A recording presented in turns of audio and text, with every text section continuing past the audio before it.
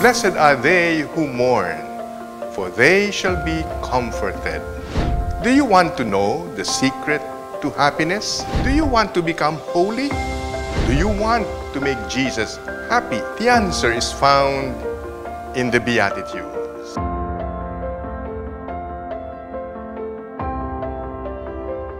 The Beatitudes exemplify the paradoxical character of Christianity.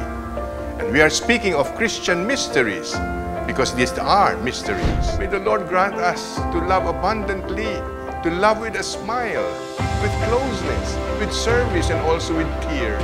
Now they shall be comforted.